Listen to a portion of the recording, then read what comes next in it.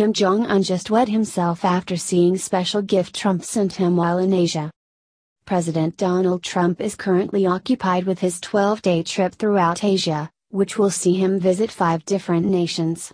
However, that doesn't mean he's forgotten about North Korea's increasingly volatile leader Kim Jong un, who has refused to back down from his threats against the United States in recent months.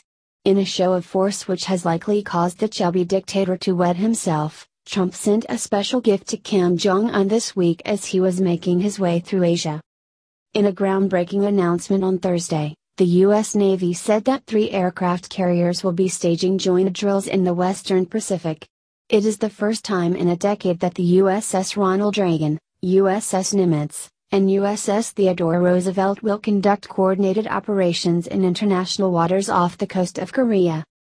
It is a rare opportunity to train with two aircraft carriers together, and even rarer to be able to train with three, commented Scott Swift, commander of the U.S. Pacific Fleet. Swift added that the operation, which will begin on Saturday and continue through November 14, demonstrates Washington's ironclad commitment to the continued security and stability of the region. Earlier this week, during President Trump's stop in South Korea, President Moon Jae-in touched on the same ironclad commitment the United States has traditionally offered to her allies in Asia. They say you know who your true friends are in times of difficulty, President Moon told soldiers during a lunch with Trump at Camp Humphreys, a U.S. military base located in South Korea. You, who bled with us during our country's most difficult time, are our true friends. You are the cornerstone and the future of the South Korea US alliance. While in South Korea, President Trump delivered a highly anticipated speech before leaving for China on Wednesday.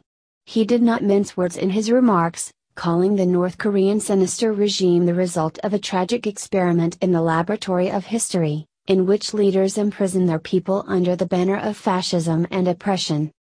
Addressing a global audience, President Donald Trump said, All responsible nations must join forces to isolate the brutal regime of North Korea, to deny it any form of support, supply, or acceptance. Today, I hope I speak not only for our countries but for all civilized nations when I say to the North, do not underestimate us. And do not try us, Trump added, insisting that the world cannot tolerate the menace of a rogue regime that threatens it with nuclear devastation. Now, more than ever, the world needs the strong leadership of President Donald Trump in the wake of North Korea's aggression. Trump is prudent in his move to send U.S. Navy aircraft carriers to the Korean Peninsula for drills. Our military must be prepared to combat North Korea if and when tensions reach a boiling point with Kim Jong un. Jong un